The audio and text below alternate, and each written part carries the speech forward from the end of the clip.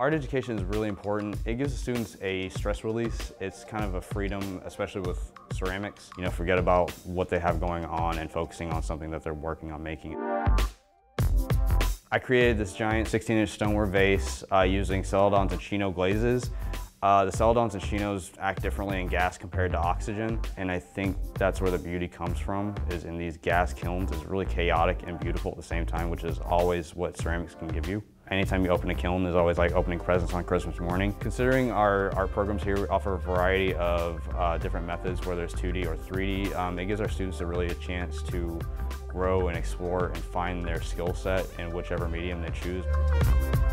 The Dallas Education Foundation has given me the opportunity to get my piece out there and show my work to a bigger audience than I've ever anticipated. It's going to give me the opportunity to start selling my work a little bit more, get my name out there, and giving more notoriety to me and my school. So I'm really excited for Dallas and Dallas ISD on what the future holds for new schools, new stories, and new talent to emerge from our schools. This is the heart of teaching.